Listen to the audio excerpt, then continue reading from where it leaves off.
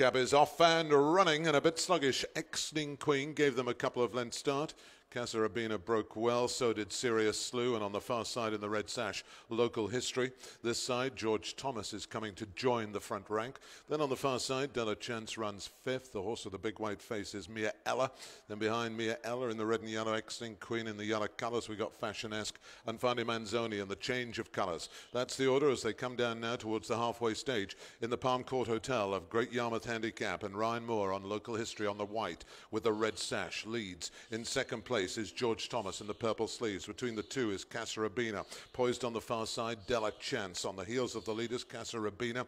Then uh, towards the left as we look, Sirius Slew is just on the heels of the leaders. Then comes Fashionesque. Down towards the final two furlongs. Ryan Moore gets down to work on local history. Here comes Della Chance with a good looking run in second. This side, George Thomas. There's running room for Casa Rabina. Now, Sirius Slew is asked to improve as well. A furlong left to run. Local history still has the lead. Della Chance is coming with a good run on the far side. It's local history from Della Chance, and Della Chance might be getting up. No, he's hanging away. It's local history, and Della Chance coming towards the line. Photo, photo. That might be local history from Della Chance, but it's